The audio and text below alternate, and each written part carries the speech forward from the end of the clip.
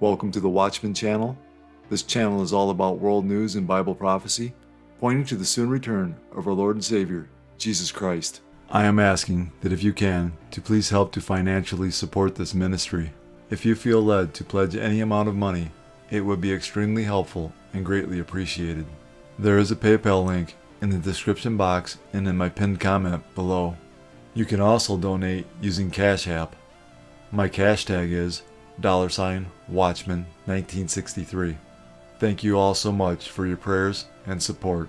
God bless. Satan does nothing but mimic the one true God.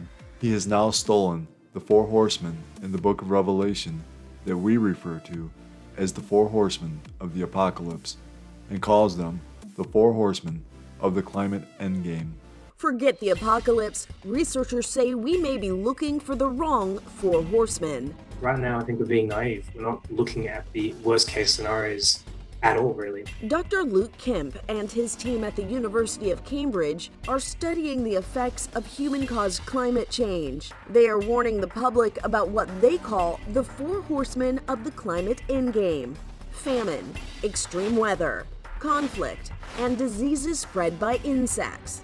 Dr. Kemp told CBS News this research isn't to scare people, but to encourage world leaders to take definitive action on climate change and to be prepared if we fail. The ultimate purpose of this area of study it's not supposed to be any kind of disaster voyeurism. It's supposed to be about understanding to prevent the worst case. Extreme weather events and pollution have been acknowledged by politicians and world leaders as being a global crisis. Half of humanity is in the danger zone from floods, droughts, extreme storms, and wildfires. No nation is immune. But researchers say at the current rate of emissions, in just 50 years, parts of the globe will see an annual average temperature of more than 84 degrees Fahrenheit, which just might bring the four horsemen of the climate endgame. The world is baffled at the events taking place in the weather, and yet it was foretold 2,000 years ago in Bible prophecy that this would happen. Satan, the great deceiver, often tries to front run God by giving people wrong ideas ahead of time about what is prophesied to happen. Satan has tricked mankind into believing that climate change is real and in turn has blinded many people to the gospel of Jesus Christ, as we read in 2 Corinthians 4 3 and 4. But even if our gospel is veiled, it is veiled to those who are perishing, whose minds the God of this age has blinded, who do not believe, lest the light of the gospel of the glory of Christ, who is the image of God, should shine on them. Jesus said a sign of his return would be more frequent and more intense weather, as we read in Matthew 24 7 and 8. And there will be famines, pestilences, and earthquakes in various places. All these are the beginning of birth pains. Pestilence is the Greek word loimos, which means a plague. Definition of a plague is any large scale calamity, especially when thought to be sent by God. God has used plagues in the form of extreme weather in the past and will again in the future. The seventh plague on Egypt was hail. Don't forget about the famine in Joseph's time. One of the biggest is the flood in the book of Genesis. In the future, during the seven year tribulation, God will once again use extreme weather in the form of pestilence as judgment. In Revelation 16:21, God uses hailstones weighing 100 pounds each, and great hail from heaven fell upon men, each hailstone about the weight of a talent. Men blasphemed God because of the plague of the hail, since that plague was exceedingly great. In Revelation 16:8 and 9, God uses scorching heat. Then the fourth angel poured out his bowl on the sun, and power was given to him to scorch men with fire, and men were scorched with great heat. And they blasphemed the name of God who has power over these plagues, and they did not repent and give him glory. Climate change is simply Satan's counter to Jesus' signs of his return and the end of the age. So when Jesus Christ warns us that just before his second coming there will be famines, pestilences, and earthquakes in various places, you had better believe that these occurrences are a sign from God and that he is about to intervene. Don't let Satan blind you to the gospel of Jesus Christ. The extreme weather the world has been witnessing is not climate change. It is God letting us know our Lord and Savior, Jesus Christ, is returning. The effects of climate change can be seen all around, from raging wildfires to catastrophic flooding. So far, the conversation has primarily been how to prevent it from getting worse half of humanity is in the danger zone from floods, droughts, extreme storms, and wildfires. No nation is immune. But now a team of international experts led by Cambridge University says we should be prepared for failure. Right now, I think we're being naive. We're not looking at the worst case scenarios at all, really. Researchers warn about what they call the four horsemen of the climate endgame famine, extreme weather, conflict, and disease spread by insects. Scientists are urging world leaders to investigate possible outcomes ranging from a loss of 10% of the global population to eventual human extinction.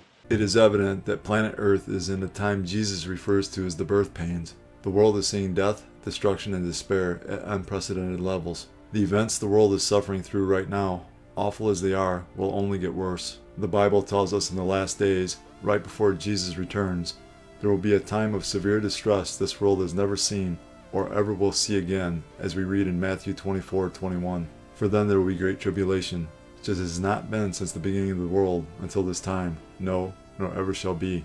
This time of distress Jesus is referring to is called the seven year tribulation, in which the inhabitants of planet Earth who have rejected God and remain unrepentant in their sin will face his wrath. These terrible judgments are pictured as seven seals opened, seven trumpets blown, and seven bowls poured out. The first four of the seven seals are known as the four horsemen of the apocalypse. The book of Revelation tells us when Jesus breaks the first seal and the white horse rides, the Antichrist will be unleashed. When Jesus breaks the second seal and the red horse rides, war will be unleashed. When Jesus breaks the third seal and the black horse rides, famine will be unleashed. When Jesus breaks the fourth seal and the pale horse rides, death and Hades will be unleashed. The Bible tells us 25% of the population of the earth will be killed at this time, as we read in Revelation 6 8. So I looked, and behold, a pale horse, and the name of him who sat on it was Death, and Hades followed with him. And power was given to them over a fourth of the earth, to kill with the sword, with hunger, with death, and by the beasts of the earth. The population of the world is roughly 8 billion, meaning 2 billion people will die during this time. The remaining 17 judgments of God include devastating earthquakes, cosmic disturbances, scorching heat, meteors, 100 pound hailstones, volcanic eruptions, loathsome sores on those who take the mark of the beast, the seas, rivers, and springs of water turn to blood, demons torturing mankind, and a 200 million strong demonic army who will kill another third of mankind, bringing the total to 4 billion. It is time to run to Jesus. You more than likely will not survive the seven year tribulation when Jesus returns, as the Antichrist will be looking to kill all Jews and Christians, and will require the inhabitants of the earth to take a mark signifying that they worship him as God. Without this mark, you will not be able to buy or sell. It would be so much easier to accept Jesus as your Lord and Savior today, as Jesus provided an escape for his true followers, as we read in Luke 21:36.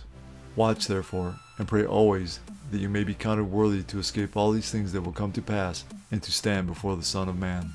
When is the rapture going to happen in relation to the tribulation?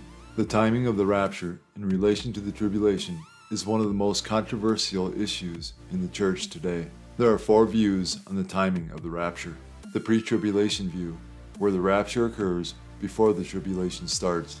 The pre wrath view, where the rapture happens before the great day of wrath in Revelation 6:17. The mid-tribulation view, where the rapture occurs at or near the midpoint of the tribulation, and the post-tribulation view, where the rapture occurs at the end of the tribulation. The primary scripture passage on the rapture is in 1 Thessalonians 4:13 through 18. It states that all living believers, along with all believers who have died, will meet the Lord Jesus in the air and will be with him forever. 1 Thessalonians 4:13 through 18. But I do not want you to be ignorant, brethren, concerning those who have fallen asleep, lest you sorrow, as others who have no hope. For if we believe that Jesus died and rose again, even so God will bring with him those who sleep in Jesus. For this we say to you by the word of the Lord, that we who are alive remain until the coming of the Lord will by no means precede those who are asleep. For the Lord himself will descend from heaven with a shout, with the voice of an archangel, and with the trumpet of God, and the dead in Christ will rise first. Then we who are alive and remain shall be caught up together with them in the clouds to meet the Lord in the air, and thus we shall always be with the Lord. Therefore, comfort one another with these words. A few verses later, in 1 Thessalonians 5 9, Paul says, For God did not appoint us to wrath, but to obtain salvation through our Lord, Jesus Christ. The book of Revelation, which deals primarily with the time period of the tribulation, is a prophetic message of how God will pour out his wrath upon an unbelieving and unrepentant world. It seems inconsistent for God to promise believers that they will not suffer wrath and then leave them on the earth to suffer through his anger during the tribulation. Another passage on the timing of the rapture is in Revelation 3:10. Because you have kept my command to persevere, I also will keep you from the hour of trial, which shall come upon the whole world, to test those who dwell on the earth. Christ promises to deliver believers from the hour of trial that is going to come upon the whole earth. This could mean two things. Either Christ will protect believers in the midst of the trials, or he will deliver believers out of the trials. It is important to recognize what believers are promised to be kept from.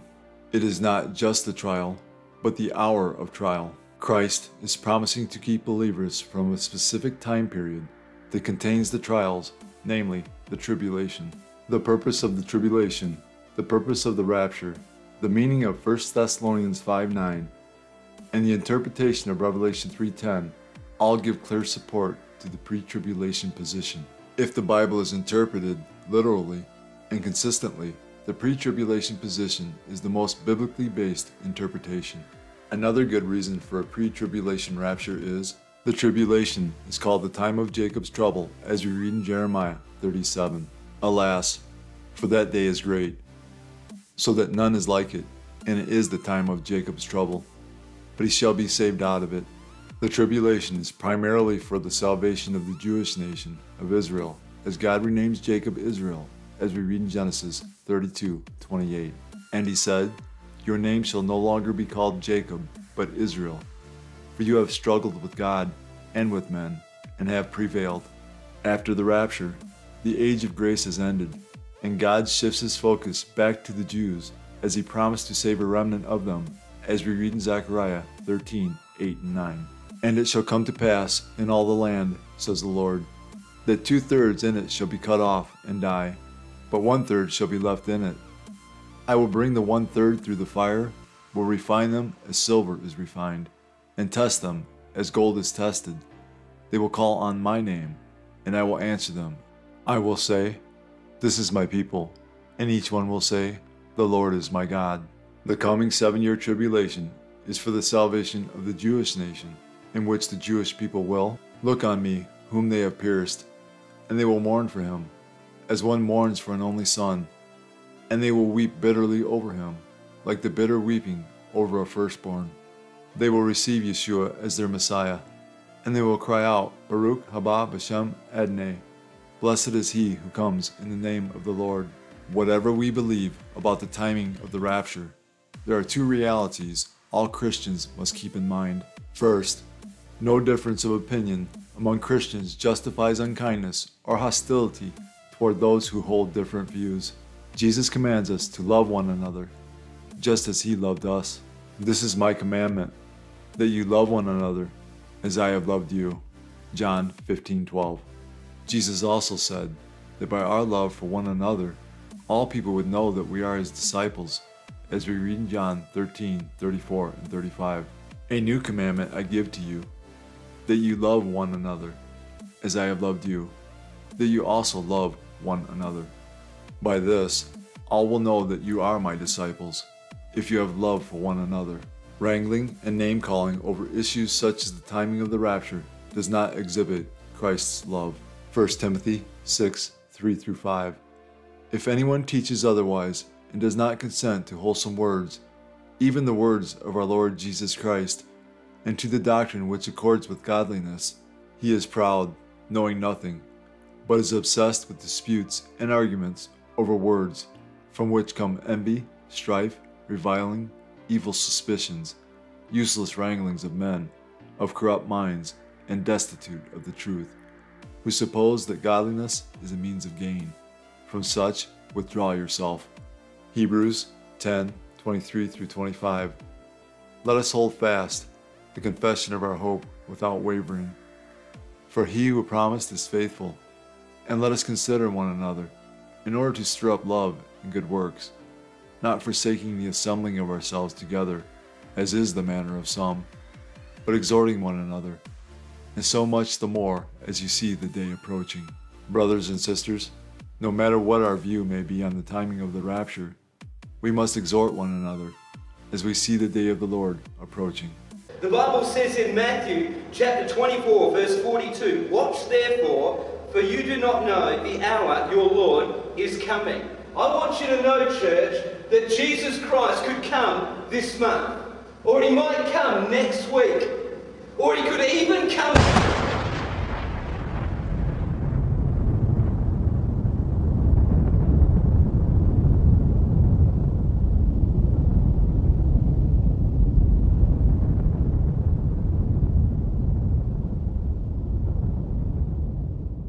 Don't be left behind. Accept Jesus today. Jesus said, as a sign of his coming and the end of the age, there would be an increase in deception, false Christs who will deceive many, wars and rumors of wars, nation against nation and kingdom against kingdom, famines, pestilences, earthquakes, Christian persecution, apostasy, false prophets, and lawlessness causing the love of many to grow cold. Jesus said all of these signs would come like birth pains. Jesus was likening last days events to a woman in labor. As the labor progresses, the pains increase in both frequency and intensity until the baby finally comes. As we get closer to Jesus' return, all the signs he gave us as a sign of his coming and the end of the age will become more frequent and more intense. All of these signs are manifesting around the world in our time. Breaking news overnight China firing missiles near Taiwan. The exercisers following Speaker Nancy Pelosi's trip there.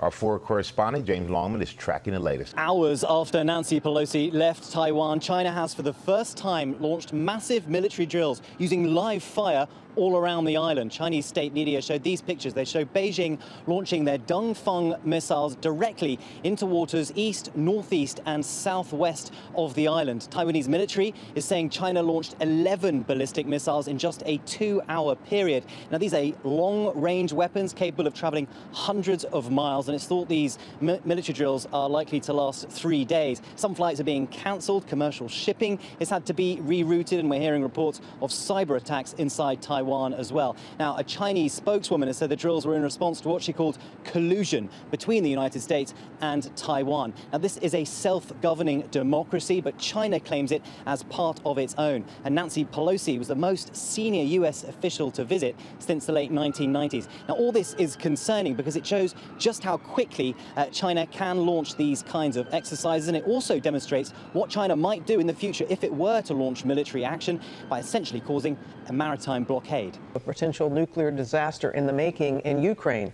The UN's nuclear chief is warning a nuclear plant, the largest in Europe, is, quote, completely out of control after Russian troops seized it. Our senior foreign correspondent, Ian Pannell, is in Ukraine and has the latest. That's right. I mean, Ukraine is home to a number of key nuclear power plants. Of course, few of us can forget the fallout from that Chernobyl disaster. But at the start of the war, that was also occupied by the Russians. Today, it's been retaken, stabilized, and back under Ukrainian control. But today, it's this other huge nuclear facility here that's caught in the crossfire that's ringing alarm bells around the world. This morning, a nuclear crisis in Ukraine. The UN sounding the alarm about Europe's largest power plant caught in the middle of the war. The head of the International Atomic Energy Agency warning the situation is extremely dangerous. The physical integrity of the place has not been respected. Zaporizhia is completely out of control. Located in the southeastern city of Enerhodar, was taken by force by Russian troops in early March, shortly after the invasion began seen here in video posted by the mayor of the city. But while Russian troops control the plant, Ukrainian staff still run it, contributing to mounting tensions and deteriorating operations. Ukraine accusing Russia of storing weapons, explosives, and military hardware at the plant, using it as cover to shell a nearby town. Russia accusing Ukraine of attacking the plant too. Fighting is escalating nearby. In a video released by the Ukrainian Defense Ministry, a drone strike in July targeting Russian troops just outside the plant. And the US now accusing Russia of using the nuclear plant as a human shield. Russia is now using the plant as a military base to fire at Ukrainians, knowing that they can't and won't shoot back because they might accidentally strike a nuclear uh, a reactor or highly uh, radioactive waste in storage. But the UN now issuing an urgent plea for Russia and Ukraine to try and allow international inspectors in to stabilise the site and, of course, avoid another nuclear disaster on Ukrainian soil. Now to the latest on the fallout from the U.S. drone strike that killed the leader of Al Qaeda. The U.S. has warned Americans around the world about potential retaliation. Our senior White House correspondent, Mary Bruce, has more on the Taliban's reaction. The Taliban this morning is weighing how to respond to this strike. You know, since assuming power last year, the government had been hoping for international recognition. But the knowledge now that al Zawahiri was hiding in plain sight and how the Taliban responds to this now is significantly complicating those aspirations. This morning, the Taliban reacting to the U.S. airstrike that killed al Qaeda leader Ayman al Zawahiri. Group representative says they are investigating what they call the U.S. claim of his death, saying the government and the leadership wasn't aware of what is being claimed, nor any trace there. Outside his home in Kabul, security tight, the balcony where he was killed covered with a tarp. Top leadership is said to be holding lengthy discussions about how to respond. Zawahiri stepped in as al Qaeda's official leader after the death of founder Osama bin Laden in 2011. Now, the next man in line is poised to take his place. The next Al Qaeda leader in line is a fellow by the name of Saif al Adl. And he's thought to be in Iran, which is really interesting because that presents uh, further complications in terms of uh, his allegiances, who he works for, why is he in Iran. With the movement's leadership in flux, experts say Al Qaeda is no longer what it once was. The real threat now comes from its splinter groups, newer terrorist organizations that were inspired by them or broke away in the last decade or so, including ISIS. The roads going in and out of Gaza, as well as most of those around the Strip, remaining closed on Wednesday for the second day in a row. This as defense officials are still concerned over the chance of an Islamic Jihad terror attack targeting Israeli civilians in the south. Some 100 IDF reservists now joining the ranks of active duty units taking posts near Gaza on Wednesday. This as the closures around the Strip remaining in force for the second day in a row following the arrest of Islamic Jihad's West Bank leader in Jenin. IDF forces disguised as Palestinians arrested the Islamic Jihad chief Bassem Saadi as well as his son in law in a raid on Monday night. Saadi has been wanted by Israel for actively building up the Islamic Jihad's power in Jenin and elsewhere around Judea and Samaria. Also, several deadly terror attacks in Israel this past year attributed to Islamic Jihad. And Saadi's son in law, while not targeted for arrest in the raid per se, considered a high value target as well, as he's Saadi's close aide.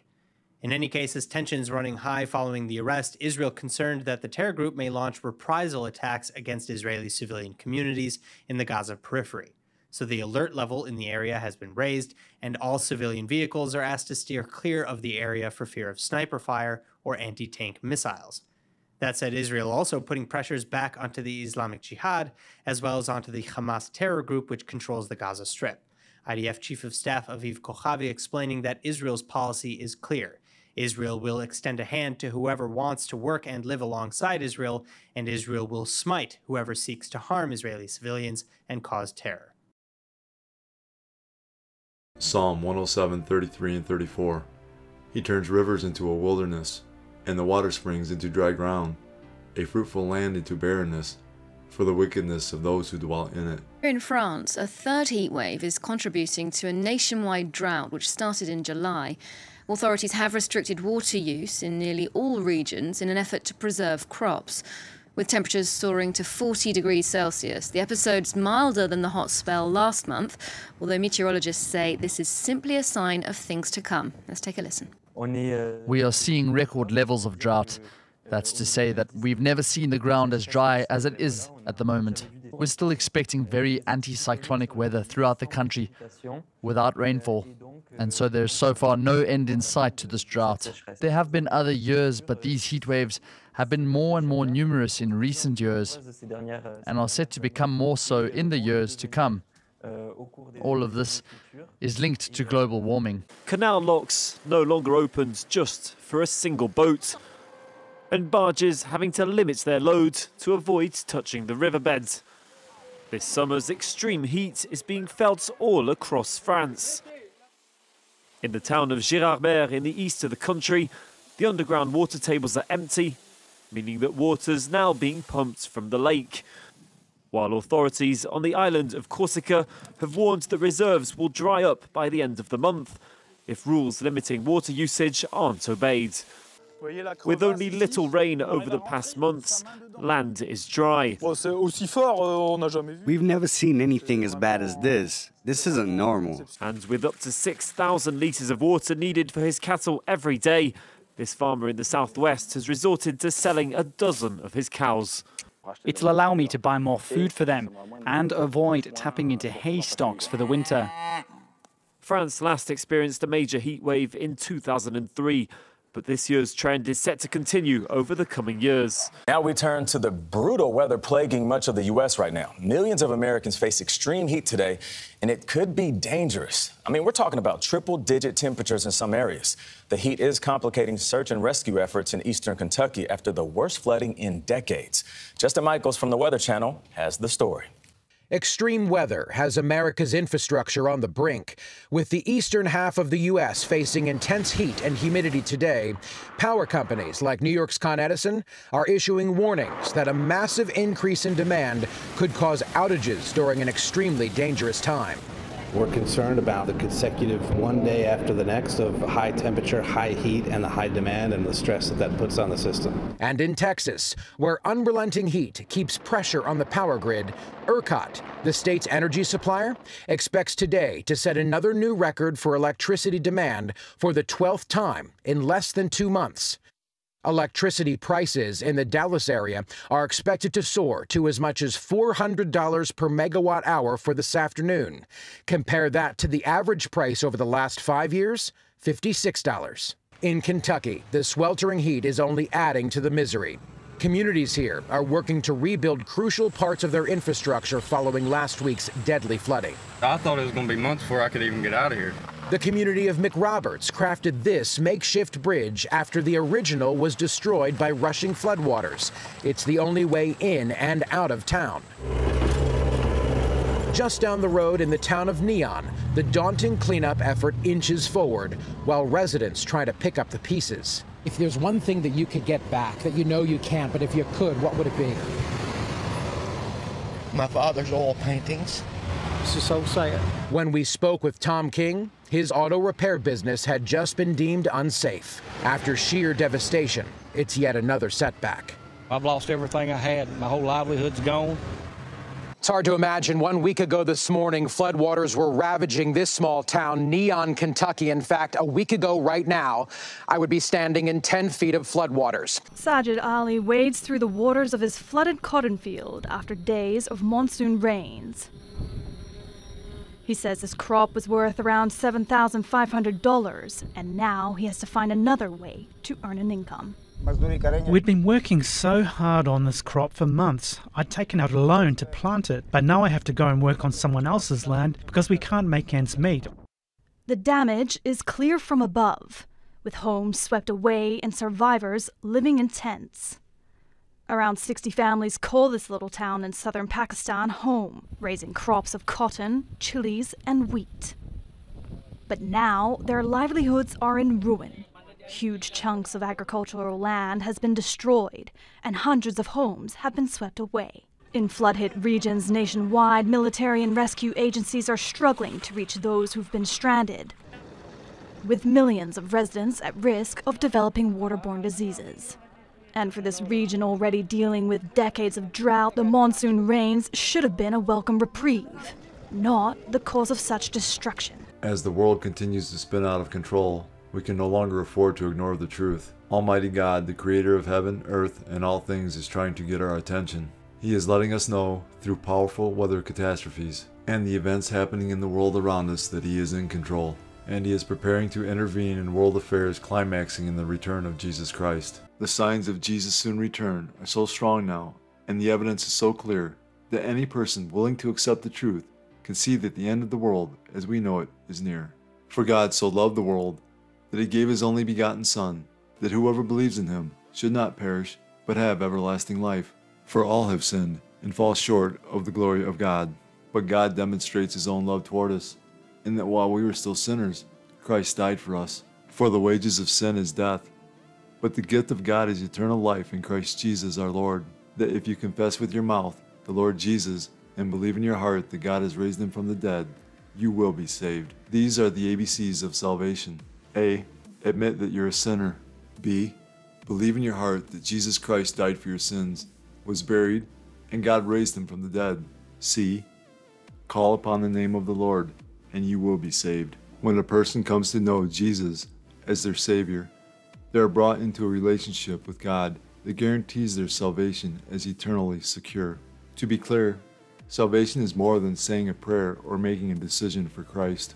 Salvation is a sovereign act of God whereby an unregenerate sinner is washed, renewed, and born again by the Holy Spirit, as we read in John 3:3 and Titus 3:5.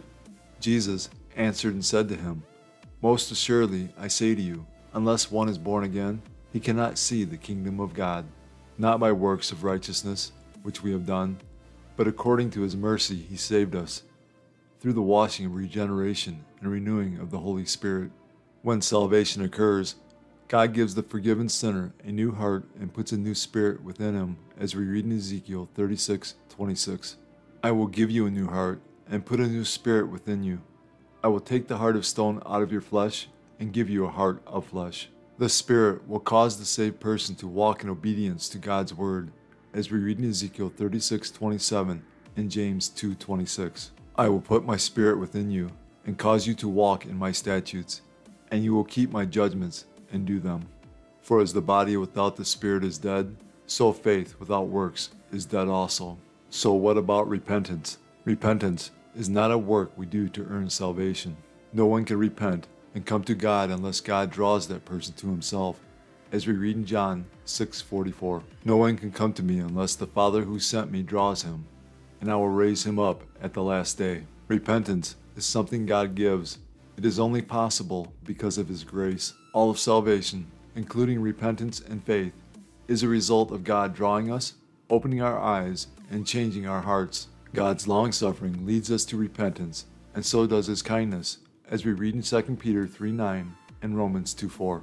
The Lord is not slack concerning his promise, as some count slackness, but is long suffering toward us, not willing that any should perish, but that all should come to repentance.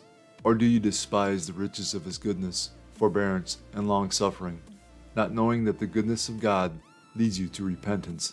Ephesians 2 8 and 9 declares, For by grace you have been saved through faith, and that not of yourselves. It is the gift of God, not of works, lest anyone should boast. Works are not the cause of salvation, works are the evidence of salvation. Faith in Christ always results in good works. The person who claims to be a Christian but lives in willful disobedience to Christ has a false or dead faith and is not saved. In the Bible, repentance results in a change in behavior. That is why John the Baptist called people to produce fruit in keeping with repentance as we read in Matthew 3:8. Therefore, bear fruits worthy of repentance. A person who has truly repented of his sin and exercised faith in Christ will give evidence of a changed life as we read in 2 Corinthians 5:17. Therefore, if anyone is in Christ, he is a new creation. Old things have passed away; behold, all things have become new. A person who has not repented of their sin and exercised faith in Christ will give evidence of the works of the flesh as we read in Galatians 5:19 through 21. Now the works of the flesh are evident, which are adultery, fornication, uncleanness, lewdness, idolatry, sorcery, hatred, contentions, jealousies, outbursts of wrath, selfish ambitions, dissensions, heresies, envy, murders, drunkenness, revelries, and the like, of which I tell you beforehand, just as I also told you in time past that those who practice such things will not inherit the kingdom of God. A person who has crucified the flesh and belongs to Christ will give evidence of the Spirit, as we read in Galatians 5:22 through 24. But the fruit of the Spirit is love, joy, peace, long-suffering, kindness, goodness, faithfulness, gentleness, self-control. Against such there is no law. And those who are Christ's have crucified the flesh with its passions and desires. Believers are born again, regenerated when they believe. For a Christian to lose his salvation, he would have to be unregenerated. The Bible gives no evidence that the new birth can be taken away. The Holy Spirit indwells all believers, as we read in John 14:17. The Spirit of truth, whom the world cannot receive, because it neither sees him or knows him, but you know him, for he dwells with you and will be in you. The Holy Spirit baptizes all believers into the body of Christ, as we read in 1 Corinthians 12:13. For by one Spirit we were all baptized into one body, whether Jews or Greeks, whether slaves or free, and have all been made to drink into one Spirit. For a believer to become unsaved, he would have to be unindwelt and detached from the body of Christ. John 3:15 states that whoever believes in Jesus Christ will have eternal life. If you believe in Christ today and have eternal life, but lose it tomorrow, then it was never eternal at all. Hence, if you lose your salvation, the promises of eternal life in the Bible would be in error. Scripture says, For I am convinced that neither death nor life, neither angels nor demons, neither the present nor the future, nor any powers, neither height nor depth, nor anything else in all creation will be able to separate us from the love of God that is in Christ Jesus our Lord.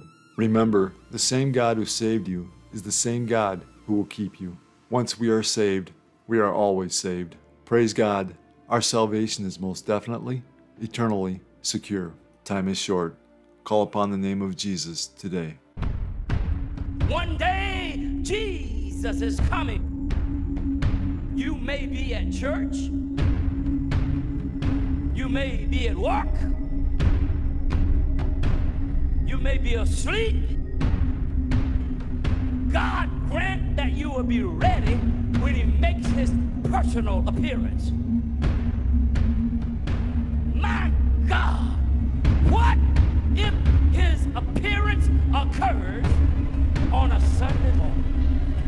prophetic word to you this morning is get ready, get ready!